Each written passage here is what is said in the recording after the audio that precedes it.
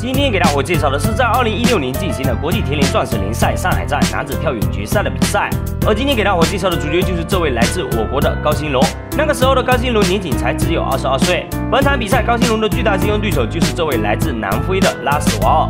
比赛开始后，高兴龙第一跳的时候状态不错。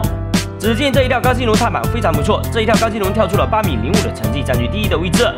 站起来的高兴龙摇摇头，似乎并不满意自己这个成绩。而拉斯瓦尔第一跳的时候因为呈现无成绩，不过第二跳的时候拉斯瓦尔就展现出了他的硬实力。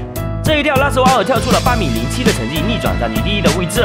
不过高兴龙在第二跳的时候也爆发了，只见高兴龙这一跳踏板更是完美，只见高兴龙这一跳更远，这一跳高兴龙竟然跳出了八米一四的成绩，逆转占据第一的位置，连高兴龙自己都不敢相信了。高兴龙也刷新了自己的个人最好成绩。高兴龙在第三跳的时候跳出了八米零九的成绩，继续占据第一的位置。虽然拉斯瓦尔在第五跳的时候也跳出了八米一四的成绩，但是无奈第二个成绩没有高兴龙好，只排在第二的位置。最终高兴龙凭借着八米一四的成绩获得冠军。在这种不是我们传统强项的世界大赛中，二十二岁的高兴龙以他的绝对天赋和实力战胜了强大的对手夺冠。不得不说，我国的高兴龙真是好样的。